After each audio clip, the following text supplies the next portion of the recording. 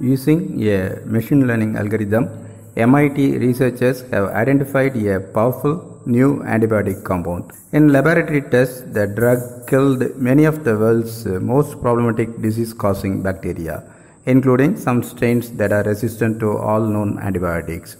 It also cleared infections in two different mouse models.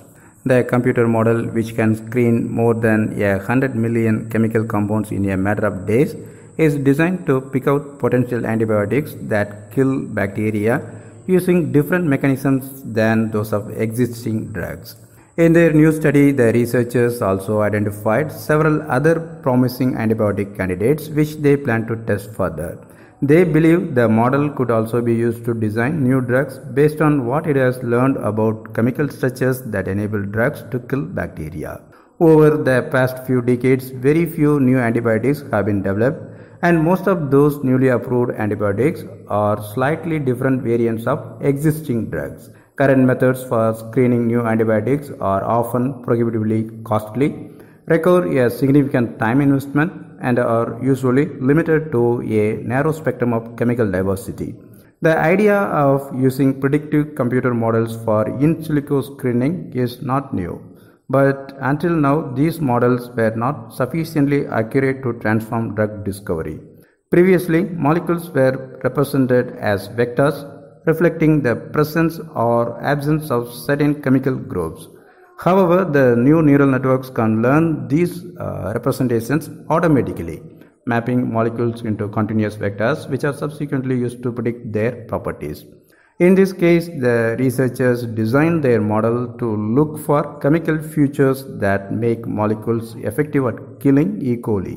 To do so, they trained the model on about 2,500 molecules, including about 1,700 FDA approved drugs and a set of 800 natural products with diverse structures and a wide range of bioactivities.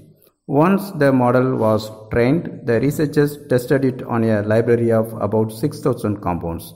The model picked out one molecule that was predicted to have strong antibacterial activity and had a chemical structure different from any existing antibiotics. Using a different machine learning model, the researchers also showed that this molecule would likely have low toxicity to human cells.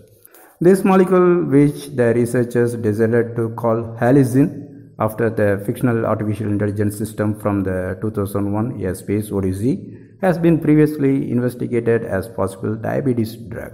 The researchers tested it against dozens of bacterial strains isolated from patients and grown in lab dishes and found that it was able to kill many that are resistant to treatment. Preliminary studies suggest that halicin kills bacteria by disturbing their ability to maintain an electrochemical gradient across their cell membranes. This gradient is necessary, among other functions, to produce ATP, that is, molecules that uh, cells use to store energy. So, if the gradient breaks down, the cells die. This type of killing mechanism could be difficult for bacteria to develop resistance to.